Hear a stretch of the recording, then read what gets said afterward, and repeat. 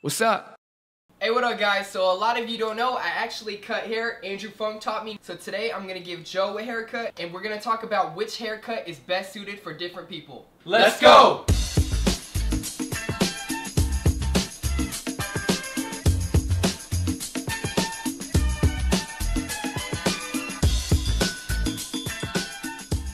This is probably my, I would say, eighth haircut I've ever given. Richie's pretty good considering it's his eighth one. He's done a good job of watching and listening. I've done a good job of teaching. Andrew used to cut Joe's hair before I knew how to cut hair. So why did you decide to do this haircut on Joe, Andrew? Joe wanted to go s- with something more stylish and uh, what's really popular now is kind of like the Macklemore G-Eazy cut. It's really short on the sides and a little long on top so you comb it over. Right here, just gonna get it real tight on the sides.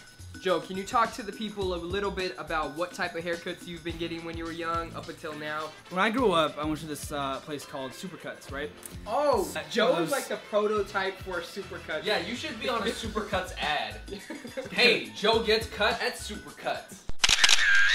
A typical haircut for me would either be going bald all around, and if not that, three all around. So I just have spiky hair, and that's it. There is this kind of unspoken rule that you can't ask for more than like two or three changes. I know sometimes you say, oh yeah, could you do this here, nip this a little bit here, this thing a little bit. You ask for that fourth change, they're gonna be like, yo man, what, is my haircut that bad? I will say in the barbershop, that's like some barbershop etiquette. You don't wanna ask for too many changes. Right- Right now it looks like a bowl cut. Why does it look like a bowl cut? Right now it looks like a bowl cut because you're really just gonna, you, you set the tone for how short it's gonna be right here. So you're gonna eventually just fade up and it's gonna be, look so nice, man. I, I think this about people with very clean cut looks. You have a clean cut face, it helps to have kind of a cooler, edgier haircut. When they look like a very nice boy, they dirty it up by either, either having facial hair, earrings, or tattoos somewhere on their body. And I think for Joe, Joe looks like a nice boy.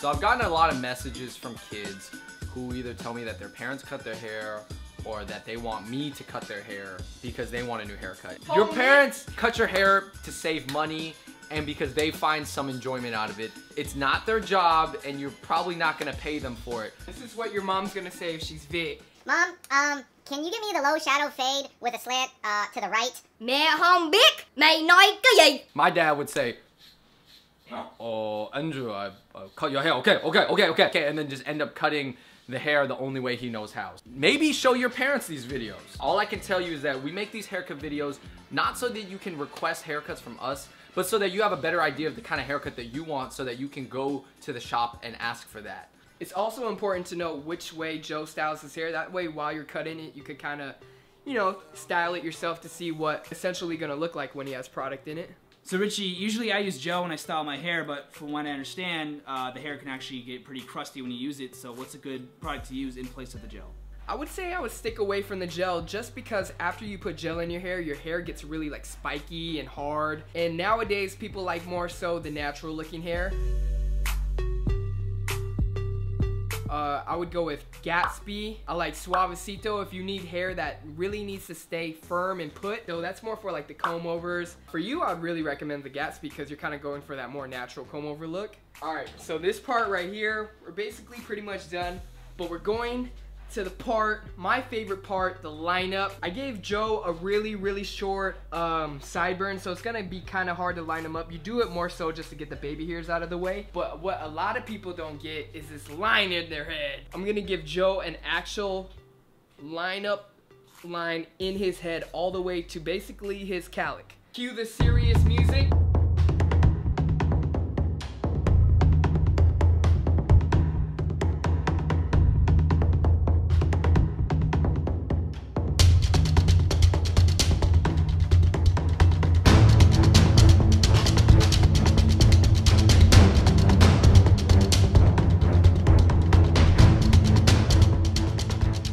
Done.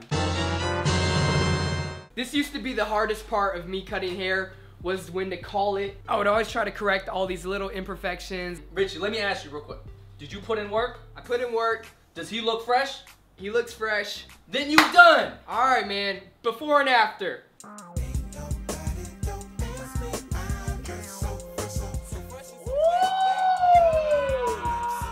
Wow, that line is perfect. I like it.